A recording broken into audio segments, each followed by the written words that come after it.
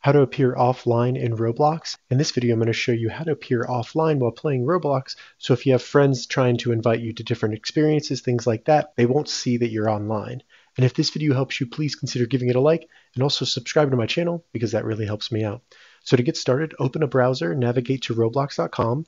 Once you get logged in, go up to the top right, select the gear, and then select settings. Once in the settings, in the left menu, select privacy and content restrictions.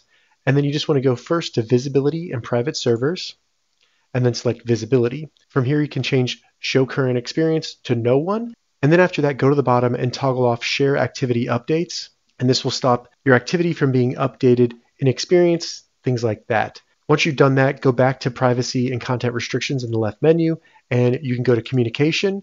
And then you can also turn off different chats, things like that, so people can't contact you. So you can change who can add you to a party by changing it to no one for all of these, and then you'll stop getting invites to parties, things like that. Once you've made all those changes, you'll now appear offline on Roblox. If this video helped you, give it a thumbs up and please consider subscribing to my channel.